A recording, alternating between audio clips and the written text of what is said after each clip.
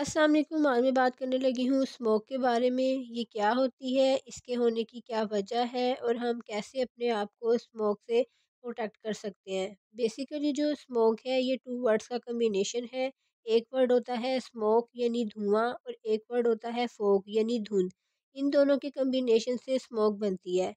جیسے جیسے انڈسٹریکیشن کا پروسیس زیادہ ہوتا جا رہا ہے انڈسٹریز زیادہ ہوتی جا رہی ہیں اس کے علاوہ جو گاڑیوں کا یوز ہے وہ بھی زیادہ ہوتا جا رہا ہے اور ان تمام چیزوں سے نکلتا ہے دھواں۔ یہ جو دھواں ہے، اس کچھ کیمیکل ریلیز ہوتے ہیں جو کہ sulphur dioxide carbon monoxide nitric oxide اس کے علاوہ نائٹرک ڈائی آکسائڈ اس کے علاوہ کچھ ہائیڈرو کاربنس ہیں اور بھی کچھ کمپاؤنڈز ہیں۔ یہ جو کمپاؤنڈس ہیں، یہ ہماری آب و ہوا میں شامل ہو جاتے ہیں۔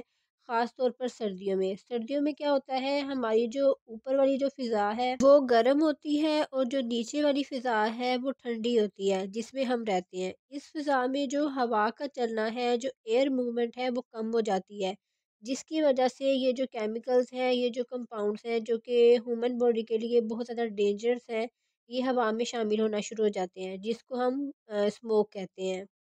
جب یہ اسموک سانس کے ذریعے ہمارے اندر جاتی ہے تو بہت ساری ڈیزیزز انفیکشن کاز کرتی ہے۔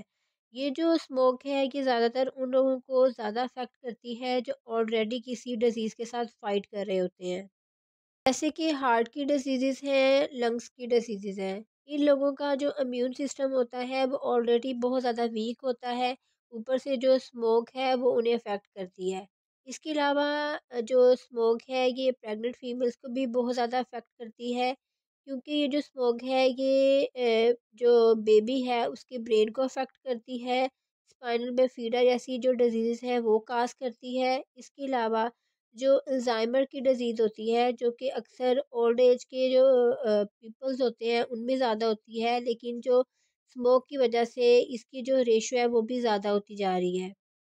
اب بات کرتے ہیں، ہم ایسا کیا کریں کہ ہمیں جو اسموک ہے وہ افیکٹ نہ کرے۔ سب سے پہلے غیر ضروری گھر سے نہ نکلے، اگر نکلنا پڑ بھی جائے تو آپ نے ماسک کا یوز کرنا ہے۔ اس کے علاوہ آپ نے اپنی ڈائٹ کو ہیلدی رکھنا ہے ہیلدی فوڈس کا جو یوز ہے وہ زیادہ کرنا ہے۔ آپ نے شوگری آئٹمس جنک فوڈ جو ہے ان سے دور رہنا ہے تاکہ آپ کی باڈی میں سے جو وائٹامن سی ہے، جو بی کمپلیکس وائٹامنس ہیں جو زنک ہے، یہ فلش آؤٹ نہ ہو۔ کیونکہ وائٹم یہ جو وائٹامنس اور منرلس ہیں، یہ ہمارے امیون سسٹم کو بوسٹ اپ کرنے میں ہیلپ کرتے ہیں۔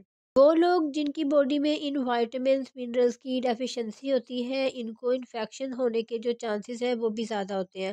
اور جو اسموک ہے، یہ بھی ڈائریکٹلی ہمارے رسپائریٹری سسٹم کو افیکٹ کرتی ہے۔ تو ان لوگوں میں لنگس کے انفیکشن کے جو ہونے کے چانسز ہیں وہ بھی زیادہ ہوتے ہیں۔ اس کے علاوہ جو ڈفرینٹ جو ڈیزیزز ہیں، جو انفیکشنس ہیں، وہ بھی زیادہ ہو سکتے ہیں۔ تو ان سب کو ٹریٹ کرنے کے لیے ہمارا جو امیون سسٹم ہے، اس کا ہیلدی ہونا، اس کا بوسٹ اپ ہونا بہت ضروری ہے۔ آپ دن میں ون ٹائم جو ہے کورینڈر واٹر یعنی دھنیا کا پانی لازمی کنزیوم کریں، یہ آپ کے امیون سسٹم کو بوسٹ اپ کرنے میں بہت زیادہ بینیفیشیل ہے۔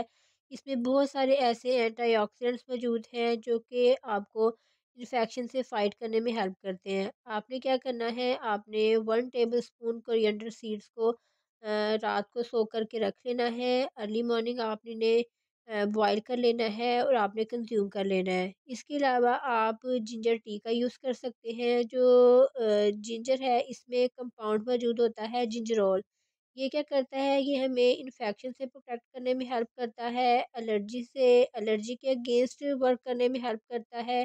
ہمارے امیون سسٹم کو بوسٹ اپ کرنے میں ہیلپ کرتا ہے۔ اس کے علاوہ جو گولڈن ملک ہے وہ بھی بہت زیادہ بینیفیشیل ہے۔ اس کے علاوہ جو اینٹی آکسیڈنٹ ریچ فروٹس ہیں ویجیٹیبلس ہیں، آپ ان کا یوز کر سکتے ہیں۔ سردیوں کے جتنے بھی فروٹس اور ویجیٹیبلس ہیں، وہ میکسیمم سارے ہی اینٹی انفلیمیٹری ہیں۔ ان میں ساروں میں اینٹی انفلیمیٹری پراپرٹیز موجود ہیں۔ انفیکشن کے اگینسٹ فائٹ کرنے کی ایبلٹی موجود ہے۔ آپ ان کا یوز لازمی کریں اپنی ڈائٹ میں۔ تو جی یہ تھی میری آج کی ویڈیو۔ آئی ہوپ سو یہ آپ کے بہت کام آئے گی۔ تو ملتے ہیں نیکسٹ ویڈیو میں۔ تب تک کے لیے اللہ حافظ۔